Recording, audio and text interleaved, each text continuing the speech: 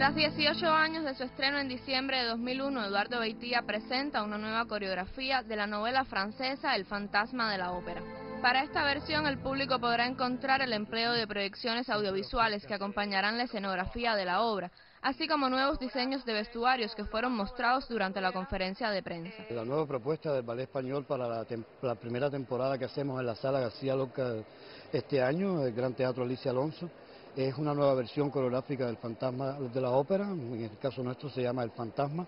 Es una versión además que incluye una música creada nueva, nueva para, este, para este espectáculo. Las funciones comenzarán los días 22, 23 y 24 de marzo en la sala García Lorca del Gran Teatro de La Habana Alicia Alonso en sus horarios habituales.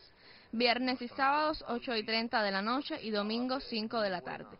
El fantasma se mantendrá en cartelera hasta la semana próxima, desde el jueves 28 hasta el domingo 31, con el regreso a las tablas del maestro Eduardo Haitía, quien encarnará el papel protagónico masculino. Los papeles principales de la obra serán asumidos por las primeras bailarinas Leslie Un, Claudia González y Diancy Martínez en el papel de Christine, y los primeros bailarines Daniel Martínez y Ricardo Quintana como el fantasma.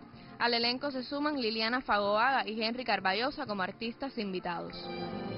Traducida a la danza flamenca con arreglo musical del joven compositor Alejandro Valdés e interpretada por su agrupación Palo de Agua, El fantasma cuenta la historia de un hombre sensible que aún marcado por el destino puede amar con intensidad y es capaz de sacrificarse por la persona que ama.